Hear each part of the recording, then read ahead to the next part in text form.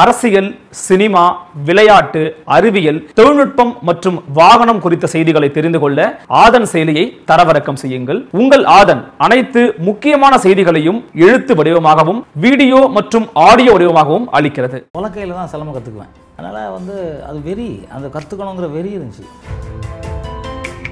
கவசக்கல் கவசக்கலை சுத்தமாக கல்லே நம்ம மேலே சுற்றி ஒரு அஞ்சாறு பேரை வச்சு அடிச்சோம்னா கூட கல் பறக்கும். நம்ம மேலே படாது. நம்ம மேலே படாது. முதல் முதல் அந்த பெரிய இடத்து பெண்ணில் நீங்கள் பார்த்த அந்த சண்டையை நீங்கள் நீங்கள் பயிற்சி பண்ணி பார்த்துருக்கீங்களா? உங்களுக்குள்ளே நீங்கள் பண்ணி அந்த தலைவர்கிட்ட நான் விளையாடி காமிச்சது. நான் போனால் ஒரே போலீஸாக நிற்குது போலீஸை பற்றி நான் கொஞ்சம் பயம். அவன் அடிச்சு நான் அந்த கேஸுக்காக என்னை பிடிக்க வந்திருக்காங்களோ? இவன் ஏதாவது கம்ப்ளைண்ட் கொடுத்துட்டு அவன் பிடிக்க வந்திருக்கான் நான் நின்ட்டேன் தண்ணி அடிக்க மாட்டார். புகைப்பிடிக்க தவறு. அடுத்த பெண்களை பார்க்குற தவறுன்னு அவர் ஸ்ட்ராங்காக வந்து சொல்லிக்கிட்டு சொல்லிட்டு அப்போ அந்த காலத்தில் அந்த காலத்தில் யாருமே தண்ணி அடிக்க மாட்டாங்க. அன்பிற்கினிய ஆதன் சினிமா நேயர்கள் அனைவருக்கும் வணக்கங்கள். புரட்சித் தலைவர் பாரத ரத்னா பொன்மல செம்மல் டாக்டர் எம்ஜிஆர் அவர்கள் மறைந்து ஏறக்குறைய முப்பத்தி நான்கு வருடங்கள் ஆகின்றது. ஆனால் இன்றளவிற்கும் அவர் மக்கள் உள்ளங்களிலே நீங்காத இடம் பிடித்து ஒரு மிகப்பெரிய கடவுளாகவே வாழ்ந்து கொண்டிருக்கின்றார். இன்றும் அநேக இடங்களிலே அவருக்கு கோவில் கட்டி வழிபடுகின்றார்கள். அநேக மக்கள் அவரை உண்மையான இதய தெய்வமாய் ஏற்றி வாழ்கின்றார்கள். அப்படிப்பட்ட ஒரு மிக மிக தீவிர எம்ஜிஆரினுடைய ரசிகர் பக்தர் ஐயா எம்ஜிஆர் அவர்களுடைய இல்லத்தில் ஒரு செல்ல பிள்ளையாக வாழ்ந்து இன்றைக்கு தமிழக திரைத்துறை மட்டுமல்லாமல் இந்திய அளவில் பிரசித்தி பெற்ற ஒரு மிகப்பெரிய சண்டை இயக்குனர் ஜாகுவார் தங்கம் மாஸ்டர் நம்மிடையே இணைந்திருக்கின்றார். எம்ஜிஆர் ஐயாவினுடைய நினைவலைகளை குறித்து அவரால் ஈர்க்கப்பட்டதை குறித்து பேசவிருக்கின்றார். வாருங்கள் நிகழ்ச்சிக்குள் செல்வோம். வணக்கம் மாஸ்டர். வணக்கம். நல்லா இருக்கீங்களா நல்லா இருக்கு மாஸ்டர். நீங்கள் எப்படி இருக்கீங்க மாஸ்டர்? சூப்பராக இருக்கேன். ரொம்ப நன்றி மாஸ்டர். இப்படிப்பட்ட ஒரு தருணத்தில் எம்ஜிஆர் ஐயா அவர்களை பற்றி பேசுவதற்காக எங்களோட இணைந்ததுக்கு நெஞ்சார்ந்த நன்றிகளை தெரிவிச்சுக்கிறோம். எனக்கு வாய்ப்பு கொடுத்ததுக்கு உங்களுக்கு தான் நன்றி சொல்லணும்? இந்த நேரத்தில் தலைவரை பற்றி சொல்கிறதுக்கு ஞாபகப்படுத்துறீங்கல்ல? ஞாபகப்படுத்துறதில்ல அது வந்து உடம்புல ஊறி போனது. அது சொல்கிறதுக்காக ஒரு இது கொடுத்துறீங்களா நான் தான் உங்களுக்கு நன்றி சொல்லணும். உங்கள் டிவிக்கும் ஆனந்த் டிவிக்கும் நான் நன்றி சொல்கிறேன் நெஞ்சார்ந்த நன்றிகள் மாஸ்டர். ரொம்ப ரொம்ப நன்றி மாஸ்டர். எப்படி அவரால் நீங்கள் ஈர்க்கப்பட்டீங்க? அவர் மேலே எப்படி அந்த ஈர்ப்பு வந்தது? சார் எனக்கு வந்து பேசிக்கலாக எங்கள் அப்பா எல்லாம் நல்லா சண்டை பண்ணுவாங்க சிலம்பத்தில். மருமக்களை எல்லாம் பண்ணிக்கிட்டு இருப்பாங்க. அது எனக்கு ரொம்ப லைக் பண்ணுவேன்.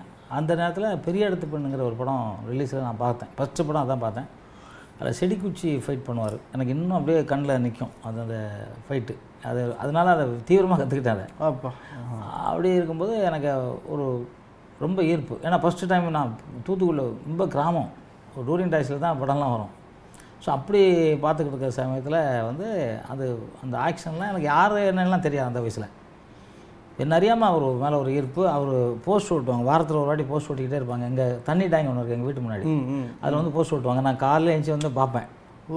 என்ன படம் இன்னைக்கு ஒட்டியிருக்காங்க அப்படின்ட்டு.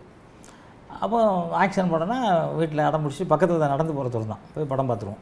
ஸோ அப்போ அப்படியே பார்த்துக்கிட்டே இருக்கும்போது அவர் மேலே ஒரு அதான் என்ன அறியாமல் ஒரு ஈர்ப்பு அப்படின்னு சொல்லுவோம் அந்த மாதிரி ஈர்ப்பு வந்துச்சு. அதன் பிறகு வந்து நான் வந்து சண்டை முறையாக கற்றுக்கிட்டு அந்த முதல் முதல் அந்த பெரிய இடத்து பெண்ணில் நீங்கள் பார்த்த அந்த சண்டையை நீங்கள் நீங்கள் பயிற்சி பண்ணி பார்த்துருக்கீங்களா? உங்களுக்குள்ளே நீங்கள் பண்ணி அந்த தலைவர்கிட்டே நான் விளையாடி காமிச்சிருக்கேன். அப்படி. கேட்டார். அவர் நான் சொன்னேன் பெரிய எடுத்து படம் தான் ஃபஸ்ட்டு பார்த்தேன். எனக்கு நினைவு தெரிஞ்சு ஃபஸ்ட்டு பார்த்த படம் பெரிய எடுத்து படம் அப்போ அது வந்து நீ விளையாடி வேணாம் நான் விளையாடி அவர் குச்சி எடுத்து ரெண்டு பேரும் விளையாட்டுருக்கோம். அவசியமாக இருக்கும். ஐயோ மிகப்பெரிய அவர் ரொம்ப இன்ட்ரெஸ்டிங் சார் சண்டைக்கலை இந்த யோகா எக்ஸசைஸ் அதெல்லாம் ரொம்ப இன்ட்ரெஸ்ட் வரும் மிகப்பெரிய ஈடுபாடு. எப்போ முதல் முதல்ல அவர் சந்திச்சிங்க மாஸ்டர் நான் முதல் முதல்ல வந்து சார் அவர் வந்து திருச்சிக்கு நிறையா ட்ரிப் வந்திருக்காரு நான் பார்த்துருக்கேன். எப்படி பார்த்துருக்கேன்னா ஒத்த கடைன்னு ஒன்று இருக்காங்க அதாவது அமெரிக்கன் ஹாஸ்பிட்டலாக இருக்கும். அந்த இடத்துல வந்து இங்கேருந்து ஒரு நாலு கிலோமீட்டருக்கு அப்படியே ஓப்பனாக இருக்கும். இப்போல்லாம் நிறைய இடம் இது ஆயிடுச்சு அப்போ ஓப்பனாக தான் இருக்கும். அதில் வருவார். அப்போ வந்து ஒரு நாளைக்கு முன்னாடி போய் உட்காந்துக்குவோம். பார்க்க முன்னாடி இருந்து பார்க்குறதுக்கு. ஸோ அந்த காலத்தில் அப்படியே இருந்தோம் சார் அதுக்கப்புறம் வந்து அந்த மாதிரி நிறைய வாட்டி பார்த்துருக்கேன். பார்த்துருக்கேன். பிரச்சாரத்துக்கு வருவார் பார்த்துருக்கேன். அப்போ தலைவர் திமுகவில் இருக்கும்போது நான் சொல்கிறது எல்லாமே. ம் எங்கள் மாமாலாம் வந்து பயங்கர டிஎம்கே டிஎம்கே ம். அப்போ அவர் கூட எங்கள் மாமா நான் சின்ன பையன் கூப்பிட்டு போவாங்க. அதுக்கப்புறம் இவர் நேரடியாக எனக்கு அவருக்கு என்ன பேச்சுனாக்கா எப்படி அறிமுகம்னாக்கா தலைவர் சிஎம் ம் எழுபத்தி ஏழு. எழுபத்தேழில் வந்து அங்கே திருச்சிக்கு ஒரு வெள்ளமண்டியில் ஒரு ஃபங்க்ஷனுக்கு வராரு. வெள்ளமண்டின்ட்டு திருச்சியில் இடம் இருக்கு வராரு. அப்போ வந்து நான் வந்து ஸ்டேட் லெவலில் சிலம்பத்தில் ஃபஸ்ட்டு வந்துட்டேன்.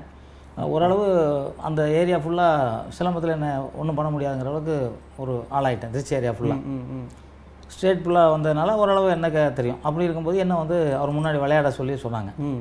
எனக்கு ஒரு நல்ல சந்தர்ப்பமாக இருக்கும் அப்படின்னு சொல்லிட்டு அதில் களம் விரட்டுதல் இல்லைன்னா படை விரட்டுதல். ஒரு அது ஒரு பாடம். ஆமாம் ஒரு இருபது பேர் இருந்தால் கூட அடிச்சிடலாம். சிலம்பத்தில். அந்த மாதிரி ஒரு படம். அதுக்கு வந்து தம் இருக்கணும் பவர் இருக்கணும். அது எனக்கு இருந்துச்சு. ஏன்னா மூவாயிரம் தண்டால் ஐயாயிரம் போயிட்டு கட்டி பார்ப்போம். என் ஃபோட்டோ நான் வேணா அப்புறம் தரேன் நீங்கள் நேரில் கூட போடுங்க. அந்த மாதிரி இருக்கும்போது நான் வந்து உலக்கையில் தான் சிலம்பம் கற்றுக்குவேன் கம்பெல்லாம் கற்றுக்கிறது பாடி அதனால் வந்து அது வெறி அந்த கற்றுக்கணுங்கிற வெறி இருந்துச்சு. எப்படி மாஸ்டர் அவ்வளோ வெயிட்டாக இருக்கும் அந்த உலகங்கிறது அதில் தான் சார் கற்றுக்கிட்டேன் அதான் கற்றுக்கிட்டேன் அப்படி கற்றுக்கும்போது கல்லை தூக்கி எறிஞ்சால் பறக்கும் கல்லே. அந்த கவுசக்கல் கவசக்கலை சுத்தமாக கல்லே நம்ம மேலே சுற்றி ஒரு அஞ்சாறு பேரை வச்சு அடிச்சோம்னா கூட கல் பறக்கும். நம்ம மேலே படாது. நம்ம மேலே படாது. ஆனால் இப்போ என்னென்னா சுற்றி கட்சிக்காரவங்க தலைவர் மேலே இருக்கார். ஏதோ ஆயிடக்கூடாது புளியங்கொட்டையில். புளியங்கொட்டை மூட்டை நாலு மூட்டை அந்த பக்கம் வச்சுட்டு அடிச்சுட்டு அடிப்பாங்க. நான் வந்து அதில் சுற்றுறேன் புளியங்கொட்டை என் மேலே படாத அளவுக்கு. அது என்னன்னா அது வந்து அந்த கொடையில் அப்படி மழை பெஞ்சாக்க அந்த கொடையை அப்படி சுற்றி விட்டா தண்ணி அப்படி சுத்தம் இல்லையா? ஆமா. அந்த மாதிரி புளியங்கொட்டை ரவுண்ட் அடிச்சுட்டு இருக்கு மேலேருந்து அவர் பார்க்குறது பார்த்தவொடனே அவர் பார்த்துட்டு அவரே கை தட்டியிருக்காரு. கை தட்டிட்டு நான் அதெல்லாம் பார்க்கல. அதுவும் அவர் அவர் பார்ப்பாராங்கிறது எனக்கு தெரியாது. அவன் விளையாடுறான் அவ்வளோதான் அப்போ வந்து அப்போ ராகவானந்தம் தொழிலாளர் நல அமைச்சர் அப்போ அவரோட சன் வந்து என்னோட ஸ்டூடெண்ட் இரா தமிழரசு அப்படின்ட்டு அவர் என்னோட ஸ்டூடெண்ட் பெரியார் காலேஜில் படித்தார் திருச்சியில். அவர் உடனே வந்து எனக்கு தெரியும் அப்படின்னு சொல்லிட்டு வந்தார். என் கையை அப்படியே பிடிச்சாரு. பிடிச்சிட்டு அப்படியே கூட்டத்தில் தர தர எழுதிட்டு போய் கூட்டு போயிட்டார் மேடைக்கு. மடக்கி இவ்வளோ பக்கத்தில் பார்க்குறேன் எப்படி இருக்கும் பாருங்க. எனக்கு எது கம்பு சுற்றி ஸ்வெட்டிங் ஆமா. ஷூட்டிங்கு கச்ச கச்சன்னு ஒரு மாதிரி இருக்கேன். நமக்கே நம்மளை பிடிக்காதுன்னு வச்சுக்கலாம் அப்படி இருக்கும். அது வெறியில் ஊற்றுது வேர்வை மூச்சு வேற. அப்படி வாங்கிட்டு இருக்கு. அவ்வளோ சொம்பு சுத்து கம்பு சுத்தணுன்னு தலைவர் ஒன்றுமே சொல்லல. அப்படியே கூப்பிட்டு அனுப்பிச்சிட்டாரு. பாடி ஒரு சிஎம் இவ்வளோ வேர்த்து ஒரு மாதிரி இருக்கும் மிகப்பெரிய உலகத்தில் ஒரு பெரிய மனிதர். உலக லெவலில் நான் சொல்கிறேன் பெரிய மனிதர்.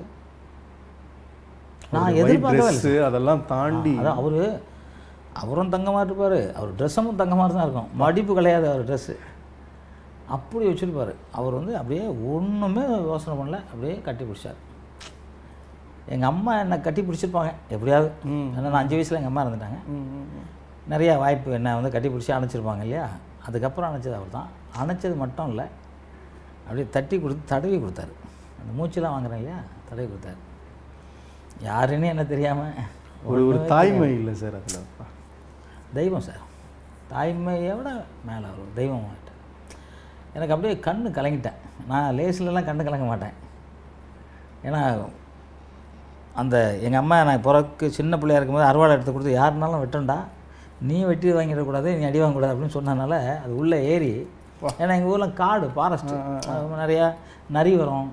அந்த மாதிரிலாம் வரும். எங்கள் விலையில் நிற்கும் போது அதெல்லாம் வரும். எதுக்கும் பயப்படக்கூடாது. மொத்தம் ஓவிட்டு தான். அப்படி. முதல்ல ஓட்டியாக தான் இருக்கணும் முதல்ல. அப்படின்னா அந்த இது இல்லை. அப்புறம் அம்மா இறந்த பிறகு அந்த சென்டிமெண்ட்டுக்கெல்லாம் போகாமல் நமக்கு அதெல்லாம் தெரியல. அந்த தட்டி கொடுத்த தடவை தான் அப்படியே இதாகி என்னை அப்படியே கையை பிடிச்சிட்டு அப்படியே நிற்கிறாரு என்ன பண்ணுறான்னு கேட்குறாரு சும்மா தான் இருக்கேன். இல்லை என்ன பண்ணுவான். இல்லை கற்றுக்குறேன் யாரெல்லாம் அடிக்க அடிக்க கூப்பிட்டு போவாங்க. பின்னாடி போ என்ன சொல்கிறானே சரி ஹோட்டலுக்கு வந்துடு நாளைக்கு காலைலன்ட்டார் சரி நான் சும்மா சொல்கிறாரு பெரியவங்கெல்லாம் சொல்லுவாங்க இல்லையா ஆமா, வந்துரு. சொல்றான்ட்டு நான் அதை வந்து அசால்ட்டாக நினச்சி போகலை போகலைன்னா எங்கள் தொகுதி எம்எல்ஏ வந்து முஸ்ரீபுத்தன் அவர் தான் எம்எல்ஏ அவர் அவர் வந்து எங்கள் தொகுதி அதனால் அவர் வந்து வீட்டுக்கு காரில் வந்து என்ன தலைவர் கூப்பிட்டா நீங்கள் வரல அப்படின்றாங்க ஆ ஆனால் அது தலை தானே கிளம்புறேன் அவர் போயிட்டார் நான் போனால் ஒரே போலீஸாக நிற்குது போலீஸை பற்றி எனக்கு கொஞ்சம் பயம். நம்ம அவன் அடிச்சு அந்த கேஸுக்காக என்னை பிடிக்க வந்திருக்காங்களோ? இல்லை இவன் எதாவது கம்ப்ளைண்ட் கொடுத்துருப்பான் அவன் பிடிக்க வந்திருக்கான் நான் நின்ட்டேன் போகல. திருப்பி வர என்ன அங்கே நிற்கிற அப்படின்ட்டு. போலீஸாக இருக்குது போலீஸாக உனக்கு என்னையா? வாயா தலைவர். அதாவது தலைவர் என்னென்னா என்னை ஏதோ ஏதோ ஒரு முன்ன வீடு தொட்ட பிறகு ஏதோ என்னை பார்க்கணுன்னு ஆசைப்பட்றேன் எதுக்குன்னே தெரியல எனக்கு. அப்போ வந்து சரி மேலே போனால் கோவப்பட்டார் அவர். என்னை பார்த்துட்டு. எப்போ வர சொன்னேன் நீ இப்போ வந்திருக்க அப்படின்னாரு. அதாவது ஒரு ஒரு இருபது முப்பது வருஷம் கூடவே இருந்தால் எப்படி கோவம்? அந்த கோவம் இருக்கும். செல்ல கோவணி கூட சொல்லலாம். அந்த மாதிரி கோவப்பட்டார் கூட இல்லைங்க போலீஸ் நினச்சா தான் வரல. போலீஸ் உனக்கு என்ன அப்படின்னாரு. இல்லை நிறைய பேர் அடிச்சிருக்கேன். அந்த கேஸ்லாம் வந்து போட்டிருப்பாங்க. அது என்னை பிடிக்கிறதுக்கு நிற்கிறாங்க அவர்கிட்டே சொல்றீங்க. அவருக்கு எனக்கு சின்ன பையன் சார் தெரியல தெரியல. அவர் விட்டா இப்படி சொல்லணும் சொல்லக்கூடாதுன்னு தெரியல. அவர் விழுந்து விழுந்து சிரிக்கிறாரு. அதாவது இந்த குழந்தைங்க சிரிப்பாங்களா அப்படி சிரிக்கிறாரு. சிரிச்சிட்டு வந்து பிடிச்சி அணைக்கிறார் ரேஞ்சி இப்படிலாம் பண்ணலாமா நீ? இல்லை என் படம்லாம் வந்து ஹெல்ப் பண்ணுறாங்க இல்லையா? அந்த மாதிரி ஹெல்ப் தான். உதாரணத்துக்கு அவரே சொல்கிறேன் நான். படத்தில் ஹெல்ப் பண்ணுவாங்கல்ல ஒருத்தருக்கு ஆபத்துன்னா போய் நிற்பாங்க அந்த மாதிரி.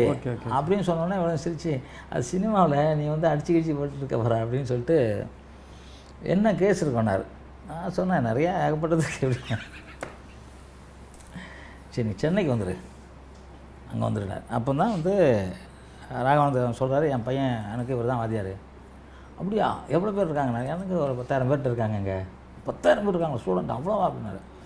ஆமாம் என்ன வேலைன்னா நான் வாரம் வாரம் குஸ்தி பண்ணுவோம் ஜெயில் தெருவுன்னு ஒன்று இருக்குது அங்கே வந்து சனி ஞாயிறு குஸ்தி நடக்கும். ஐநூறுரூவா பரிசு. நான் தோத்ததே கிடையாது. என்னன்னா அந்த பவர் அப்படி தட்டினா பொத்துன்னு விழுந்துருவான் எழுந்திரிக்க முடியாது. அப்படி அவ்வளோ பவர் வெறி. அதாவது பவர் வெறி அந்த அந்த இதில் இப்படி வரணும் அப்படின்ட்டு ஒரு வெறி இருந்தனால அப்படி பண்ணுறதுனால அதுதான் ஐநூறுரூவா தருவோம் ஆயிரரூவா தருவோம் நம்ம ஃப்ரெண்ட்லாம் சேர்ந்து ஒரு அஞ்சு பேர் பாடி கார்டு மாதிரி வருவாங்க அஞ்சு பத்து பேர். தேட்டருக்கு போகிறது படம் பார்க்குறது சண்டை கற்றுக்கிறது இவ்வளோதான் வேலை. அது சொன்ன உடனே அவர் சொன்னார் இல்லை இல்லை இதெல்லாம் இல்லை உனக்கு அங்கே வேலை இருக்குது வா. சரிங்க அப்படின்னு சொல்லிட்டு அதை. அதை ஓகே வந்துட்டேன். வந்துட்டு நான் போகவே இல்லை. என்ன போகலைன்னா அப்படி நம்ம அப்படி இடத்துல போனோம்னா நம்ம பின்னாடி பத்து பேர் வருவாங்க. அப்படி வந்தால் போகணும். தேட்டரில் போனால் பத்து பேர் பின்னாடி உட்காந்து டிக்கெட்டு டிக்கெட்லாம் ஃப்ரீ எங்களுக்கு. அப்போது இந்த இதெல்லாம் விட்டுட்டு நம்ம எதுக்கு அங்கே போகணும்? ஆ. வேணாம் சும்மா நான் கூப்பிடுவேன். போகல. திருப்பி அவங்க முசிறியார் வராரு. ஓ இன்னையா விளையாடுறா? எவ்வளோ வாட்டி வர சொல்ல. இல்லைங்க இந்த கேஸ்லாம் இருக்கு முடிச்சுட்டு வரேன். அதுக்கப்புறம் அதுக்காக எல்லாம் இது பண்ணி என்ன கேஸுனா எல்லாம் சின்ன சின்ன அடிதடி கேஸு அந்த மாதிரி கேஸு எல்லாம் கூப்பிட்டு அதெல்லாம் காம்ப்ரமைஸாக கோர்ட்டில் எல்லாம் காம்ப்ரமைஸ் ஆகி. ஓ முடிச்சுட்டு தான் போனீங்க? எல்லாம் முடிச்சு எல்லாம் முடிச்சுட்டு அவர் சொல்லிட்டாரு. சட்டப்படி நீ என்ன பண்ணுமோ அதை பண்ணு. சட்டத்துக்கு புறம்பா நடக்கக்கூடாது. கூடாது. அவர் சொன்ன ஒரே வார்த்தை இன்றைக்கே என் மனசில் ஒழிச்சிக்கிட்டு இருக்கு. சட்டத்துக்கு புறம்பா எதுவும் பண்ணக்கூடாது சட்டத்துக்கு மீறி யார் தவறு பண்ணாலும் அதை பார்த்துட்டு நீ போனால் நீ வந்துட நீ கேட்கணும். அது சொன்னது அவர். எனக்கு அப்போ சொன்னது எனக்கு ஞாபகம் இருக்குது ஏன்னா நான் அந்த மாதிரி இருக்கேன்னொடனே அவர் எனக்கு சொல்லிடாது எல்லாத்தையும் ஃபுல்லாக முடிச்சுட்டு அதுக்கப்புறம் வந்து அப்பவும் நான் போகலை. எங்கள் அக்கா வந்து எங்கள் அக்காவுக்கு தெரிஞ்சிருச்சு. அப்போல்லாம் இந்த மாதிரி மீடியாலாம் கிடையாது இல்லையா? யாருக்கும் வெளியே தெரியாது. எங்கள் அக்கா கிட்ட வந்து சொல்லிட்டாங்க இது மாதிரி வந்து தலைவர் கூப்பிட்றாரு போக மாட்டேங்கிறான். அப்படி எங்கள் அக்காவுக்குன்னா அவரு பைத்தியம். அப்படியா? கூப்பிட்டாரா இவன் சொல்லவே இல்லையா என்கிட்ட. இவங்க ரவுடிசம் பண்ணிகிட்டே இங்கே இருக்குன்னு நினைக்கிறான். அதனால் போக மாட்டேங்கிறான்னு சொல்லிட்டு ஒரு நாள் என்ன பண்ணிச்சு ஒரு பா கையில் விஷம் ஒரு பையில நூறுரூவா பணம். இதை வாங்கிட்டு சென்னைக்கு போறியா? இல்லை குடிக்கட்டுமா? ஐயோ சரி அக்கா ஏமாத்தலை எங்கள் அண்ணன் வீடு குண்டத்தூரில் இருக்குது சரி அக்கா கொடு அப்படின்னு சொல்லிட்டு ஏழு ரூபாயோ என்னமோ டிக்கெட்டு ட்ரெயினுக்கு ஏழு ரூபாயோ மூணாயிரம் ரூபாயோ என்னமோ அன்ரிசர்வ் சரிக்கா கொடுக்கான்னு சொல்லிட்டு அப்படியே வந்து சென்னைக்கு வரேன். சென்னைக்கு வந்தால் ஆ அப்போ பஸ்ஸில் தான் வரேன். ஏன்னா எங்கள் அக்கா வந்து நீ எங்கன்னா இறங்கிடுவா அதனால் பஸ்ஸு ஏறுன்னு சொல்லி பஸ்ஸை வந்து ஏற்றி விட்டுச்சு ஜங்ஷனில். தாம்பரத்தில் வந்து ஒரு ரெண்டரை மணி அந்த மாதிரி வந்துருச்சு. இப்போ அப்போ மாதிரி ஆட்டோலாம் அவ்வளோ இருக்கலாம் ஆட்டோ கிடையாது. இருக்காதுன்னு தான் நினைக்கிறேன் அப்போல்லாம். தாம்பரத்தில் பஸ் ஸ்டாண்டில் ஒரு ஒயிட் சட்டை போட்டு சின்னதாக ஒரு மெல்லி செயின் போட்டு பேண்ட்லாம் போட்டு அப்படி உட்காந்துருந்தேன் போலீஸு கூப்பிட்டு போயிட்டாங்க. ஸ்டேஷனுக்கு வந்த உடனே எதுவுமே கேட்கல ஆ எதுவுமே கேட்கல ஆ வண்டியில் ஏறு அப்படின்னாங்க. என்ன பண்ணுறது அப்படின்னு சொல்லிட்டு சரி ஓகே என்ன ஏறிட்டேன். ஏறினோன்னா ஒரு நாலஞ்சு பேர் லாக்கப்பில் போட்டாங்க. என்ன அந்த ஒரு சேர் மா பெஞ்சு இருந்துச்சு அதில் படுத்துக்கன்ட்டாங்க. ம் ம். என்னடா அது பெஞ்சில் படுக்க சொல்கிறாங்க தெரியல என்னென்னா கரெக்டாக அஞ்சு மணிக்கு வந்தார். இன்ஸ்பெக்டர் வந்து சரி நீ போ அப்படின்னாரு. இல்லையா? எதுக்கு கூப்பிட்டீங்கன்னே தெரில நான் பாட்டு ஊருக்கு போயிருப்பேன். நீங்கள் பாட்டு கூப்பிட்டீங்க. எந்த ஊருக்கு போகணுன்னாரு குன்றத்தூர் போகணும். பஸ்ஸே இப்போ தான் வரும்? நைட்டு தான் உன் செயின்லாம் பிடிங்கிட்டு போயிருப்பாங்க. அதான் உன்னை கூப்பிட்டு உள்ளே உட்கார வச்சேன். இங்கே சேஃபாக உட்காரன்னு உட்கார வச்சேன். அப்படின்னாரு. ஒரு வேளை அவங்க செயினை பிடிக்கிறதுனா அவங்க தான் ஹாஸ்பிட்டலில் அட்மிட் ஆகிருக்கணும் அப்படின்னு நான் சொன்னேன். அவ்வளோ பெரிய ஆளா நீ யார்? அப்படின்னாரு. சிலம்பம் கராட்டே கராட்டேல பிளாக் பெல்ட் அப்போ கராட்டேனா பயங்கர ஃபேமஸ் டைம் அது. கராட்டே காரணம் கிக்கெலாம் அடிப்பேன்னா அப்படியே சைடு இங்கே தூக்கி அடிச்சு நிறுத்தினேன் அப்படி. ம். எங்கள் அப்பா அப்படின்னாரு. வேற என்ன சிலம்பலாம் ரெண்டு லட்டி கொடுத்த சுத்துவா போனார். சுற்றினா டேபிளாம் இது சுத்த பரபரம் சுற்றி இது பண்ணோன்னே தொட்டத்தட்டி அப்படி உனக்கெல்லாம் எடுத்தோன்னே அவரு கொஞ்சம் இதாகிட்டார் ரொம்ப இன்ட்ரெஸ்ட் ஆகிட்டார் அப்படியே எங்கள் அப்பா ஆமாயா நீ சொன்ன மாதிரி எங்கே வந்தாங்கன்னாரு. இல்லை புரட்சி தலைவர் கூப்பிட்டுருக்காரு அவர் வீட்டுக்கு வந்திருக்கேன் என்ன சொல்கிறானாரு ஆமாம் அவர் வீட்டு தான் அதான் ஃபோன் நம்பர் பாருங்கள் ஓ ஃபோன் நம்பர் கொடுத்துருக்கேன். ஆனா அவரு ரொம்ப இதாகி உடனே வண்டியில் ஏற்றி கொண்டு போய் பஸ்ஸில் ஏற்றி கொண்டு சொல்லோடியா அப்படின்னு சொல்லி. எங்கள் அண்ணன் நம்பவே இல்லை. அப்பா எம்ஜிஆர் கூப்பிட்டாராப்பா என்னப்பா நீ போய் சொல்கிறா அக்கா ஏதோ திட்டிருக்கீனே வந்திருக்கா. ஒரு வாரம் இருந்து சாப்பிட்டு போ. நீ அதை விட்டு எம்ஜிஆர் சொன்னாரு ஏன்ட்ட போய் சொல்லாத? அப்படிங்கிறாங்க. அவர் சொன்னார். ஏன்னா அங்கே கூட்டு போன வீடு தெரியாது எனக்கு. நம்பர்லாம் இருக்கு கொ- தெரியாது இல்லையா எங்கள் அண்ணன் நம்பர் நம்பர் தான் எல்லாரும் வச்சுருப்பாங்க. சிஎம் நம்பர் எல்லார்ட்டையும் இருக்கும் அப்படின்ட்டாங்க. சரி என்ன பண்ணுறது அப்படின்னு சொல்லிட்டு அப்படியே இருக்கும்போது குன்றத்தூரில் வந்து ஒரு ஆயுத பூஜை வந்துச்சு. ஆயுத பூஜை வந்து அங்கே சிவன் கோயில் இருக்கு குன்றத்தூரில். ஒரு சிவன் கோயில் முன்னாடி பெரிய கிரவுண்டு குளம்லாம் இருக்கும். அதில் வந்து சிலம்பம் விளையாடுறாங்க. அப்போல்லாம் டிவிலாம் கிடையாது. பொழுதுபோக்கெல்லாம் கிடையாது. ஆமாம் இந்த மாதிரி ஞாயிற்றுக்கிழமை தேட்டரில் படம் பார்ப்பாங்க. இந்த மாதிரி சேர்னா கூட்டமாக செம்ம கூட்டம் கூடிடும். அப்போ நானும் போய் உட்காந்து பா பார்த்துக்கிட்டு இருந்தேன். எனக்கு விரு விருங்குது சிலம்பு சுற்றணுமே சுற்றணுமே சுற்றணுமேன்ட்டு மேடையில் போய் கேட்டேன். ஐயா நான் கொஞ்சம் சுற்றுறட்டுமான்னு அவங்க சொன்னாங்க இல்லை நீ எவ்வளோ நாளாக கற்றுக்கிட்டு இருக்கா? எங்கே எந்த ஊர்? நாங்கள் திருச்சிங்க. ஒரு இருபது இருபத்தி நாள் தான் கற்றுக்கிட்டு இருக்கேன் அப்படின்னு. தரமாட்டாங்கல்ல? Okay okay okay. இருபது நாள் தான். சரி இந்த சுற்றுன்ட்டாங்க. அவ்வளோதான் கம்பை எடுத்தா அங்கே இந்த மைக் வச்சுருந்தாங்களா குண்டத்தூர் பஜார் வரைக்கும் கேட்டிருக்கு சவுண்டு ஓ. அவ்வளோ வேகம். இப்போமே நான் சுற்றுறது பார்த்துருக்கீங்களா நீங்கள் இல்லை மாஸ்டர் இல்லை சும்மா போன வாரம் ஒன்று சுற்றி போட்டிருக்கேன் பாருங்க கண்ணுக்கு தெரியாது. அவங்க எல்லாம் சொன்னாங்க கம்பு இல்லாமல் சும்மா சுற்றுறாங்க அப்படி வடக்கணுக்கும் போது தான் கம்பு இருக்குது தெரியும். அது வரைக்கும் தெரியாது. அந்த வேகமாக இப்பவும் சுற்றுவேன் உடனே சுற்றுனோடனே அவங்களுக்கு ஒரு மாதிரி ஆயிடுச்சு. அப்புறம் டபுள் கம்பு செடி குச்சி நுங்சாக்கு வச்சுருவாங்க நுங்சாக்கு குத்து ஒரு கராட்டை கட்டாசனம் பண்ணோன்னே அவங்க ஆடி போயிட்டு இருப்பாங்க அந்த ஏரியா ஃபுல்லாக கைத்தட்ட ஆரம்பிச்சு ஐயோ. பக்கத்துலேயே கோயிலா மாலை ரெண்டு ரூபா ஒரு ரூபானே எனக்கு முந்நூறுரூவா செஞ்சு எனக்கு. அப்பா. இதில் எங்கள் அண்ணன் இருந்திருக்காங்க கூட்டத்தில். எங்கள் அண்ணன் வந்து என்கிட்ட ஒன்றுமே சொல்ல நேராக வீட்டுக்கு போயிட்டாங்க. வீட்டில் எங்கள் அண்ணிட்ட போய் அவன் உண்மையிலே எம்ஜிஆர் கூப்பிட்டு போலுக்கு அவன் என்ன கம்பு சுற்றினா கண்ணுக்கு தெரியல. சொல்லிட்டு இருக்காங்க நான் வீட்டுக்கு போகிறேன் அப்பா நீ முதல்ல இந்த ஊரை விட்டு கிளம்பு அப்படின்னாங்க எங்கள் அண்ணன். ஏன்னா அப்படின்னா? நீ பாட்டு சிலம்பு அங்கே சுற்றினால அவங்களாம் பெரிய ஆளுங்க. நீ பாட்டு சுற்றிட்டா உன்னை காலில் அடிச்சிருவாங்க. அண்ணா அதெல்லாம் அடிக்க முடியாது ம் இல்லை இல்லை நீ முதல்ல கிளம்புப்பா அந்த ஊரை விட்டு. அப்படின்னு சொல்லிட்டாரு. இல்லைண்ணே நான் இங்கே தான் இருப்பேன். நான் வந்து தலைவரை பார்க்காம போக மாட்டேன். இல்லை தலைவர் உன்னை சொல்லியிருப்பாங்கிறது என் நம்பிக்கை இருக்குது ஆனால் இந்த இதில் எனக்கு பிரச்சனை இருக்கே.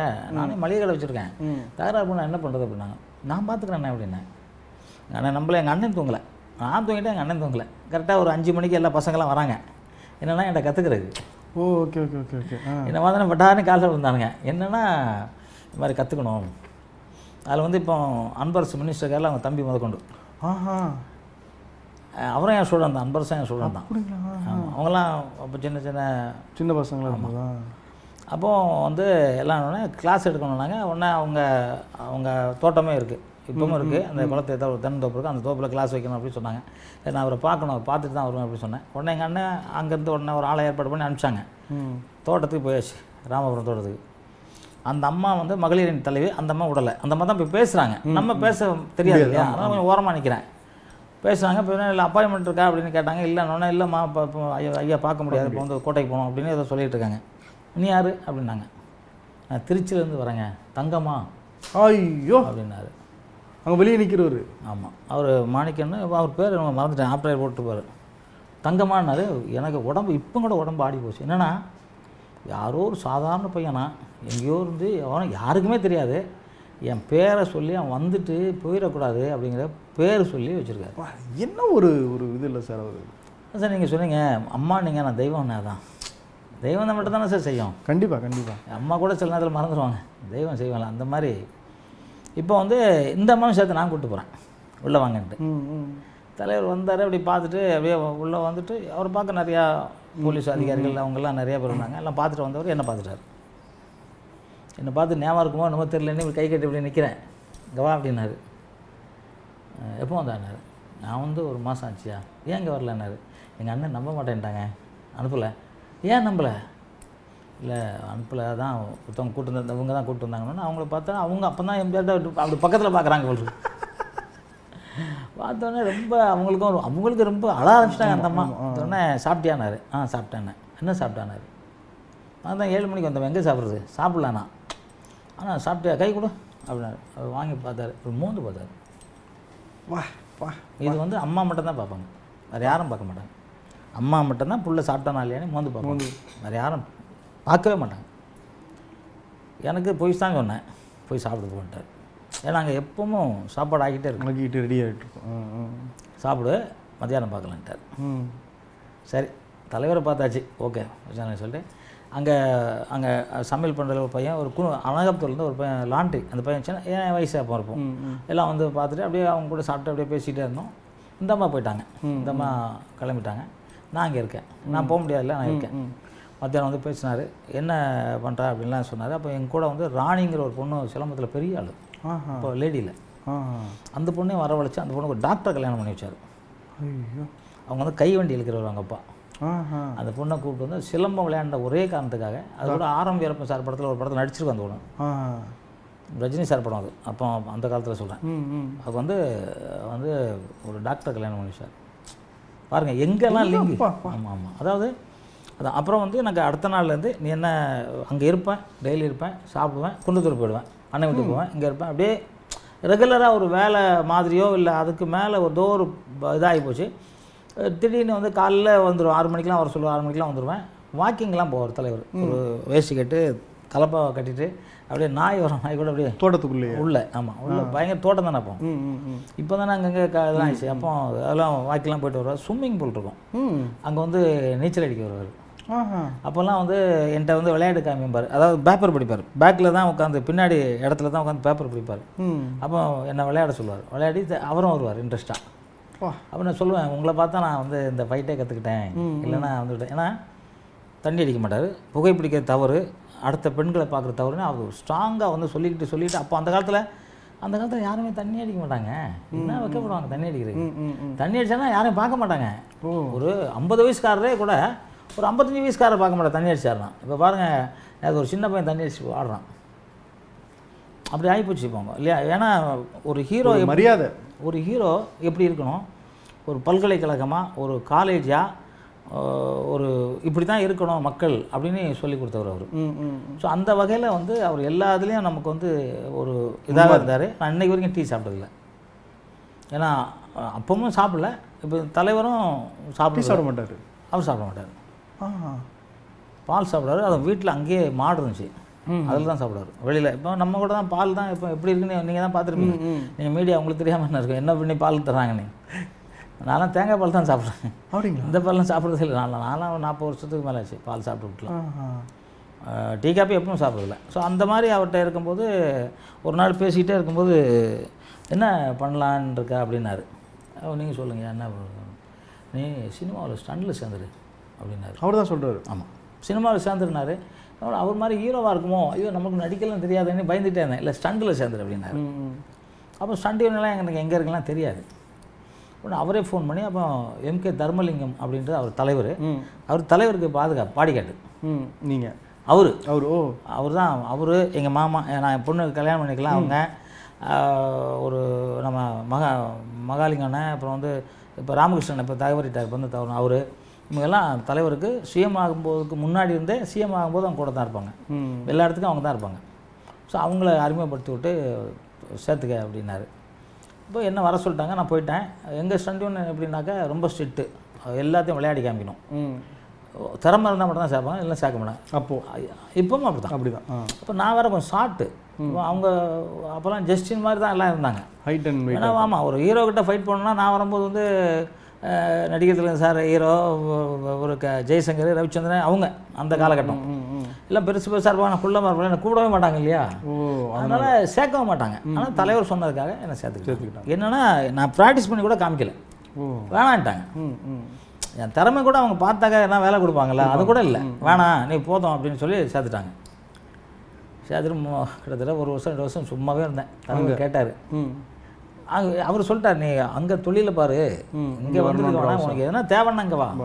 உனக்கு எதனா வேணுமா? அப்படிலாம் கேட்டார். அப்போல்லாம் கேட்க தெரியாது சார். இப்போ தானே எல்லாம் நெட்டை பார்த்துட்டு அஞ்சு வயசு குழந்தையே தெரியுது. எனக்கு ஒரு அந்த ஒரு பங்களா கொடுங்க. இந்த அந்த பையனை கல்யாணம் பண்ணி அப்போல்லாம் தெரியாதுல்ல நமக்கு. அப்படியே இருக்கும்போது ஒரு நாள் சொன்னான் இல்லைங்க குள்ளமாக இருக்கனால வேலை தரல யாரும். போயிட்டு வரேன் வீட்டுக்கு போகிறேன்னு உடனே விதயக்கினி படம் பார்த்தீங்களா? ஆமாம் அதில் என் சங்கர்னே ஒரு ஃபைட் மாஸ்டர் master. அவரை கூப்பிட்டு வேலை கொடு அப்படின்னாரு. சொன்ன அடுத்த நாள் காலையிலே ஷூட்டிங் போயிட்டேன் ஷூட்டிங் போனேன். அப்பவும் அவருக்கு எப்போ ஒரு வாட்டி தான் வரும். அவர் வரும்போது எனக்கு போடுவார். கூடுவார் அப்படி இருக்கும்போது ஒரு நாள் ஆயுத பூஜை. இந்த ஆயுத பூஜை வந்து எனக்கு லைஃப்பில் மறக்க முடியாது. எங்கள் சங்கத்துலேயும் ஆயுத பூஜை கொண்டாடுவாங்க. சிலம்பம் சுற்ற ஆரம்பித்தேன் அப்போ நான் மெம்பரானி கூட அவங்களுக்கு தெரில மெம்பரானி நாங்க கார்டு வச்சுருந்தாங்க மெம்பர் தாங்க அப்படின்னு சொன்னேன். அப்புறம் சிலம்பு சுற்றினேன் சார். சிலம்பு சுற்றினதில் கம்பு உடஞ்சி போச்சு. என்ன வெறி என்னென்னா நம்ம எவ்வளோ சண்டை தெரிஞ்சால் நமக்கு வேலை கிடைக்கல. அப்படிங்கிறது வெறியில் சுற்றி கம்பு உடச்சிட்டேன் அப்புறம் நுங்சாக்கு குத்துவசை அது இதெல்லாம் அடித்தோடனே அன்றைக்கி நைட்டு ஆம்பூர் ஆர்எஸ் பாபு. அவர் சில்க் சிம்கா டூப் கூட்டு போனார். அந்த அன்னைக்கு ஸ்டார்ட் பண்ணதான் சார் அதுக்கப்புறம் தலைவர் ஆசீர்வாதத்தில் ஒரு நாளைக்கு மூணு படம். நீங்கள் ஒரு மாஸ்டர்னா நீங்கள் ஒரு ரெண்டு மணி நேரம் கூப்பிடுங்க அவர் ஒரு ரெண்டு மணி நேரம் இவர் ஒரு ரெண்டு மணி நேரம். ஒரு நாளைக்கு. அப்படி போவேன். அப்படியே ஷூட்டிங் எனக்கு பிஸி அப்போவே ஸ்டார்ட் தலைவரே பார்க்க முடியல. அவ்வளோ ஷூட்டிங் ஏன்னா இங்கே தூ தூங்குறதுக்கு டைம் கிடைக்கும் டைம் கிடைக்கல. பா நான்லாம் ஸ்விம்மிங் பூலில் ஃபைட் எடுத்து ஸ்விம்மிங் பூலுக்கு வாசல் அப்படியே ஓரமாக தூங்கியிருக்கேன் சார் ஷூட்டிங்கில் அவ்வளோ தூக்கம் கலக்கமாக இருக்கும். அவ்வளோ படம். அப்படியே அப்படி வந்துச்சு இதை நம்ம ஒர்க்கை பார்த்துட்டு எல்லா நடிகர்களுக்கும் வந்து இப்போ ரஜினி சாருக்கு நான் இப்போ டூப்பு பர்மனெண்ட் அப்போ போடுவேன். இப்போ க கன்னட படமாக இருக்கட்டும் தமிழ் நான் தான் அப்போ டூப்பு படம் இருக்குது இப்போ நிறையா நடிகர்கள் நிறையா நடிகைகள் ஸ்ரீபிரியா மனோரமாச்சி இது மாதிரி எல்லாருக்கும் வந்து நான் டூப் போட ஆரம்பித்தேன் அதனால் அப்படியே எல்லாருக்கிட்டே நான் கொஞ்சம் பிரபலம் ஆகிட்டேன் கிக்ஸு பஞ்சு ஸ்டைலு இந்த கம்பெல்லாம் சுற்றின வேகம் இதெல்லாம் எல்லாருக்கும் பிடிச்சிருச்சு. க தெலுங்குலையாக இருக்கட்டும் கன்னடத்தில் ராஜ்குமார் அண்ணன் இந்த என்டிஆர் என்டிஆர் கூடலாம் அவர் ஹைட்டுக்கு நம்ம ஃபைட்டாக பண்ணுவோம். சும்மா கம்போஸ் கூட்டு போவாங்க. அப்புறம் கிருஷ்ணா சாருக்கு டூப் போட்டேன். பர்மனெண்டாக டூப் போடுவேன். அந்த மாதிரி அப்படியே பிஸி ஆகிட்டேன் அப்புறம் ஒரு கட்டத்தில் மாஸ்டர் ஆகிட்டேன் எல்லாம் காரணம் புரட்சித் தலைவர் பொன்மனச்செம்மல் மக்கள் திலகம். அப்பா. அவர் தான் காரணம். இல்லைன்னா இதெல்லாம் இந்த இடத்துல நீங்கள் கூப்பிட்டுருக்கவே மாட்டீங்க. நான் பெரிய மாஸ்டராக இருந்தால் கூட என்னை கூப்பிட்டுருக்க மாட்டீங்க. என்னை விட பெரிய மாஸ்டர்லாம் இருக்காங்க. நீங்கள் கூப்பிட்ட காரணம் அதுதான். என்னன்னா அவர் கை தொட்ட ராசி அவர் கூடவே இருந்த டிஎஸ் ராஜா அவரோட பொண்ணு. ம் ம். புரட்சித் தலைவர் சாந்தின்னு பேர் வச்சு அவர் தான் அவங்க தான் என் மனைவி. அப்பா எவ்வளோ பெரிய பாக்கியமா சார்? அதுதான் என்னால் மறக்கவே முடியாது. இதை விட இன்னொன்று வந்து நீங்கள் அவர் பெயர் கொண்ட ஊருக்கே வ- ந- நகரத்திலே சாரி அந்த ஏழு இடத்துலயே வசிக்கிறீங்க என்னென்னா எனக்கு வந்து நான் அப்போ வந்து வடபழனியில் தான் வா- வாடகைக்கு இருந்தேன். அங்கேயே நான் இருக்க பக்கத்துலேயே ஒரு கிரவுண்ட் இருந்துச்சு. அப்போ அங்கேக்கு இங்கே இருபத்தஞ்சாயிரம் தான் வித்தியாசம். எங்கள் மாமா கூட சொன்னாங்க நீங்கள் அங்கேயே வாங்கிடுங்க எங்கள் மாமா எம்ஜிஆர் நகர் பிரித்தது எங்கள் மாமா தான். எம்ஜிஆர் நகர்னு பிரித்து போ போட்டதே எங்கள் மாமா தான். அவங்க கூட தான் இருந்தாங்க கடைசி வரைக்கும். நான் இவ்வளோ ஃபோட்டோ எடுத்துகிட்டு வந்தேன் அவங்க ஃபோட்டோவை எம்ஜிஆர் கூட இருக்கிறத. அந்த காலகட்டத்தில் வந்து இல்லை நான் வந்து தலைவர் பேரில் இருக்கிற ஊரில் தான் இருக்கணும் அப்படின்னு சொல்லி தான் எம்ஜிஆர் நகரில் இடம் வாங்கினேன். இடம் வாங்கினா நான் போகும்போது எல்லாம் சாராயம் காய்ச்சிட்டு இருந்தாங்க. ரோட்லலாம் சாராயம் காய்ச்சி ரொம்ப கரெக்டாக போடுவாங்க. என் மாமா சொல்லுவாங்க ஐயோ நீங்கள் வேறு கோவக்காரர். ஏதாவது பிரச்சனை வந்துடும் அப்படிம்பாங்க. ஏதோ ஒன்று பிரச்சனைலாம் வந்துச்சு. பட் தலைவர் அருளாலையும் ஆசியாலையும் வந்து எல்லாத்தையும் விரட்டி விட்டு இப்ப அந்த நகரமே பெரிய இதாகி போச்சு. ஒரே பெரிய ஊராகிடுச்சு ஸோ அது மாதிரி அதுக்கப்புறம் கல்யாணம் வந்து பத்திரிகை வைக்கணும் போது தலைவர் கொஞ்சம் பார்க்க முடியல அந்த டைமில் ஆனால் கல்யாணம் வந்து நாங்கள் வந்து இங்கே டி நகரில் தான் கல்யாணம் ஆச்சு. மண்ட மண்டபத்தில். மண்டபத்தில் குன்றத்தூரில் வந்து அப்போ ஒரு கோயில் தலைவர் அன்னைக்கு ஓப்பன் பண்ணுறாரு அந்த கோயிலில் போய் சாமி கும்பிட கரெக்டாக தலைவர் வர்றாரு. அவர்கிட்ட நானும் என் ஒய்ஃபு போய் ஆசீர்வாதம் வாங்கணும். அதாவது என்ன விஷயம்னா மாமாவும் ரொம்ப நாள் கழிச்சு எனக்கு தான் பார்க்குறாங்க. ஓ. ஏன்னா சுயமான பொருள் எல்லாரும் அப்படி சௌரிய சாதம் பார்க்க முடியாது இல்லையா? நான் உள்ளே இருந்தனால பார்த்தேன் இல்லைன்னா பார்க்க முடியாது இல்லையா? அதனால் எல்லாம் ரொம்ப ரொம்ப சந்தோஷப்பட்டு ரொம்ப கண்ணெலாம் கலங்கி ஒரு பெரிய மனநிலை என்னென்னா என்னை குழந்தை கூ அங்கே தொட்டு இங்கே கூட்டு வந்து இங்கே சே சேர்த்து விட்டு கல்யாணம் பாருங்கள் ஏதோ அவர் பேரை வச்ச பொண்ணு. கல்யாணம் பண்ணி அந்த கொடுப்பனை வந்து எனக்கு மாதிரி யாருக்கும் அமைஞ்சிருக்காதுன்னு நினைக்கிறேன். அதான் விஜய் சேதுபதி ஒரு நாள் சொல்லும்போது சொன்னார். நிச்சயமாக கிடைக்காது. யாருன்னா அறிமுகப்படுத்தி அப்படியே போயிட்டுருக்கோம் அவர் பேரை வச்ச பொண்ணே நீங்கள் கல்யாணம் பண்ணால் அதெல்லாம் பெரிய பாக்கியம் அப்படின்னாரு. கண்டிப்பாக உண்மையில அது பாக்கியம் சார் கண்டிப்பாக கண்டிப்பாக அவருடைய உணவு பழக்கங்கள் எப்படி இருக்குமா சார் நீங்கள் பார்த்த வரைக்கும்? சார் உணவு வந்து நல்லா சாப்பிடுவார் சார். வாழையில தான் சாப்பிடுவார். அந்த கருவாடு இந்த நெத்திலி கருவாடில் அந்த நெய்யில் வறுத்து அது நிறையா சாப்பிடுவார். நீங்கள் இந்த மாட்டுக்கார வேலன் படம் பார்த்தீங்களா? ம் ம் அதில் சாப்பிடுவார் சாமா வடிச்சு சாப்பிடுவார் ஆமாம் அப்படி தான் சாப்பிடுவார். அப்படிங்களா. திருப்தியாக சாப்பிடுவார் சார். யார் இருந்தாலும் சரி சாப்பிட வைக்காமல் சாப்பிட மாட்டார். நான் பார்த்த வரைக்கும் அவர் அந்த இப்போ அவர் தட்டில் கூட நான் சாப்பிட்டு வந்தேன் வீட்டில் போய். வீட்டில் போய் இப்ப போய் அதே தட்டில் போய் அதே அவர் உட்கார இடத்துல ரொம்ப நாளைக்கு அப்புறம் சாப்பிட்டது நம்ம ஃபேஸ்புக்கில் போட்டேன். தலைவர் வீட்டில் அவர் உட்கார்றது ஏன்னா உட்காந்து சாப்பிடணும்னு ஆசை. ஏன்னா அந்த இடத்துல நிறைய வாட்டி நான் உட்காந்து சாப்பிட்ருக்கேன் இருந்தாலும் இப்போ ஒரு ஆசைப்பட்டு போய் சாப்பிட்டு வந்தேன் நான். சாப்பாடு வஞ்சங்கெல்லாம் சாப்பிடுவார் சார். அதெல்லாம் எக்ஸசைஸ் பண்ணுவார். பண்ணுவார் உடற்பயிற்சி சார். அவர் பாருங்க சார் அந்த வயசில் என்ன மாதிரி ஏறுவார் பாருங்க. தட்ட தட்டு தட்டன்னு ஏறுவார் பாருங்க. போலீஸ்லாம் ஏற முடியாது சார். ம். அவர் கூட அவர் அப்படி ஏறி போவார். போல பவர் இப்போ டேலண்ட்டு போய் ஒரு அண்டர் கிரவுண்டில் ஒரு இடத்துல போய் தியானம் பண்ணுவார். ஆஹா தியானம் பண்ணுவாருங்களா நல்ல பேர் அண்டர் கிரவுண்ட் அவங்க அம்மா ஃபோட்டோ இன்னொரு சித்தர் ஃபோட்டோ இன்னொரு மூணு ஃபோட்டோ தான் வச்சுருப்பார். வச்சு அதில் தான் போய் நான் போயிருக்கேன் அது உள்ள. மாதிரி ஒரு தியானம் பண்ணுவார். பாரு கத்தி அவர் கத்தி என்கிட்ட கிட்டத்தட்ட ஒரு ஒரு பத்து கத்திக்கு மேலே என்கிட்ட இருக்குது வாளில். வால் ஆமாம் என்னை கொடுத்த ஒரு கரலை வாங்கியிருக்கேன். அவர் நான் அந்த கத்தியெல்லாம் வேகமாக சுற்றுவேன் உடனே சரி எடுத்துக்க. அவர் எதுவுமே வச்சு சார் அப்படியே கொடுத்துருவார் அவ்வளோதான் சார் அது என்னமோ அவர் மனசு யாருக்கும் வராது சார். கணக்கு பார்க்கவே மாட்டார். இப்போ நம்மலாம் பார்த்த கூட அப்படியே வைக்கும்போது சார் நூறு வருதான்னு பார்த்து கொடுக்கலாம் அப்படிலாம் இல்லை. அப்படியே இந்தா சொல்லு. அந்த மாதிரி மனசுலாம். அதான் ஒரு வாட்டி கோட்டை போகிற தலைவர் நான் வந்து குன்றத்தூருக்கு இப்படி திரும்பி போகிறேன் ம். போய்கிட்டே இருக்கும்போது ஒரு அம்மாவும் ஒரு ஒரு அம்மா கூட இன்னொரு அம்மா வராங்க. போனவருக்கு வண்டி ரிவைஸ் வருது. தலைவர் போயிட்டாரு. அந்த அம்மா சொல் ஐயோ. கான்வாயில் போறாரு அவரு. ஆமாம் ஐயோ புல்லாண்டா போகிறாரு அப்படின்ற மாதிரி ஏதோ கை நீட்டிருக்கீங்களா? கண்ணாடியில் பார்த்துட்டாரு பார்த்துட்டு வண்டியை நிறுத்த சொல்லி ரிவைஸ் வராரு. நானும் போனால் ஓடி வரேன். ரிவைஸ்னா எல்லாம் வந்தோடனே கண்ணாடி அப்படி இறத்திட்டு அவர் கர்ச்சீப்லாம் தும்பப்பு மாதிரி வச்சுருப்பார் சார். வெள்ளையாக இருக்கும். வெள்ளையே தான் இருக்கும் கர்ச்சீப் அவர் ஒரு பாரு ட்ரெஸ் எல்லாமே அப்படி தான் இருக்கும் கண்ணாடி இறக்கிட்டு என்னன்னு கேட்குறாரு அந்த அம்மா இவரை பார்த்த உடனே பேச முடியல. முடியல. கிராமத்தில் வந்திருக்காங்க பேச முடியல. உடனே அந்த கண்ணு அழுகுறாங்க அழுகுறாங்க ஏதோ தேவை அழுகுறாங்க கர்ச்சீப் எடுத்து துடைக்கிறாரு. அந்த ஊழெல்லாம் அந்த அம்மாவுக்கு இருக்குது காலையில் ஏதோ ஊர்லேருந்து வந்து நடந்து கிடந்து வந்து வராங்க. தொடச்சி விட்றாரு. விட்டு நீ சொல்லுமாங்கிற பரிவோட ஒரு தாயோட ஒரு அன்பு. கூப்பிட்டு என்னம்மா என்னம்மா? அந்த அம்மா அழுது இவங்களாம் அழுகுறாங்க சொல்ல மாட்டேங்கிறாங்க. சொல்ல முடியல அவங்களால. சரி நான் வந்துட்டேன். வந்தோடனே தங்க நீ கூப்பிட்டு போ. அப்படின்னு சொல்லி சாப்பிட வை சொல்லிட்டு. நான் ஒரு மணிக்கு வந்துடுறேன்னு போயிட்டார். போயிட்டார். நான் வந்தாங்க நான் கூப்பிட்டு போய் உள்ளே கூப்பிட்டு போய் சாப்பிடலாம் வைக்க சொல்லி. அவங்களுக்கு ட்ரெஸ் எல்லாம் வாங்கி கொடுக்க சொன்னார் உடனே. ஏன்னா அவங்க எதுவுமே எடுத்துகிட்டு வரல. ம். ட்ரெஸ் எல்லாம் உடனே ஏற்பாடு பண்ணி கொடுத்து வாங்கி அவங்களுக்கு தேவையான என்னென்ன தேவையோ அதெல்லாம் பண்ணிவிட்டு உட்கார வச்சுருந்தோம். தலைவர் வந்தோடனே அவர் சாப்பிட கூட போகல. அவங்கள கூப்பிட்டு என்னன்னு கேட்டார். வந்த உடனே சாப்பிடாம ஆமாம் அதான் சாப்பாடாக அவர் அது எனக்கு தெரிஞ்ச அவரெல்லாம் அதை நினைக்கவே மாட்டேங்கிறார். எவ்வளோ இடத்துல நான் பார்த்துருக்கேன். ஒரு இந்த வேலையை தான் பார்ப்பார். வந்து என்னன்னு கேட்குறாரு. அவன் சொல்கிறாங்க அவங்க கட்சிக்காரவங்க அவங்க கட்சிக்காரவங்க. நாங்கள் என் வீட்டுக்காரர் இறந்துட்டாரு. என் பையனோட பொண்டாட்டி அவங்க வீட்டுக்காரன் இறந்துட்டாங்க. நாங்கள் ரெண்டு பேரும் தான் இருக்கோம் வீட்டில். எங்கள் வீடை அடித்து அவரோட எடுத்துக்கிட்டாரு எங்களுக்கு கொஞ்சம் இடம் இருக்குது ஒரு அரை ஏக்கரா போல் இருக்கும்போது வீடெல்லாம் எடுத்து சரி பண்ணிட்டாரு. நான் எங்கெல்லாமே பண்ணி பார்த்தா முடியல. முடியல. ஐயாட்ட வந்து சொல்லணும்னு வந்தேன். அதான். கோவம் வந்துச்சு. ஏறிடுச்சு அவர். கோவம் வந்து அப்படி மூக்கு அப்படி இப்படிம்பாரு. பயங்கர கோவம் வந்து அப்படி தான் செய்வார். ஒன்று விட்டு வர சொல்ல அப்படின்ட்டாரு. அடுத்த காலில் ஒரு தலைவர் வந்துட்டார். அங்கே இருந்து வந்துட்டார். அன்னைக்கு தான் பார்த்தேன் அவர் அடித்ததை ஒரு அடி. பார்த்தோம் கூப்பிட்டு "யா- யார் தெரியுமான்னாரு அப்படியே பார்க்குறாரு. எங்கள் அம்மா அப்படின்னாரு. என் அம்மா. அம்மாவை வீட்டை இடிச்சிட்டு நீ வந்து வீடு கட்டுவியானே? ம். எப்படி நான் அவங்க இடம் கரெக்டாக செவரு காம்பவுண்ட் போட்டு அவங்க வீடு வந்து ஓடு வீடு இருந்திருக்கு. கல் போட்டு கட்டி கொடுத்துட்டு சாவி அவங்ககிட்ட கொடுக்கணும் நீ. போ. அதுக்கு ஒரு ஆளை போடுறாரு. கரெக்டாக பண்ணுறானா பார்க்குறதுக்கு. போட்டு இந்த அம்மா இருங்கம்மா அப்படின்னு சொல்லிட்டு கருப்பு சூட் கேஸ் ஒரு லட்ச ரூபா. அந்த காலத்தில். மூணு கோடியோ நாலு கோடியோ. வேலைக்கெல்லாம் போக வேண்டாம். வேறு ஆளெல்லாம் எல்லாமே ரெடி பண்ணுறாரு பேங்க்கில் ஃபிக்ஸட் போட்டு அது எப்படி வரணும்? மாதம் அவங்களுக்கு இவங்களுக்கு என்ன தெரியாது. இவங்க எல்லாம் எப்படி போகணும்? ஒரு ஒரு அம்மாவுக்கு ஒரு புள்ள என்ன செய்யுமோ அந்த இதெல்லாம் வந்து செய்கிறாரு செஞ்சுட்டு யாராவது எதனா கேட்டால் உங்கள் புள்ள இங்கே ராமச்சந்திரன் இருக்கேன்னு சொல்லுங்கள் வா வா வா. என்ன ஒரு வார்த்தை சார்? இந்த அம்மா கட்சிக்காரங்களா? ஓட்டு போடுவாங்களா? அதெல்லாம் தெரியாது.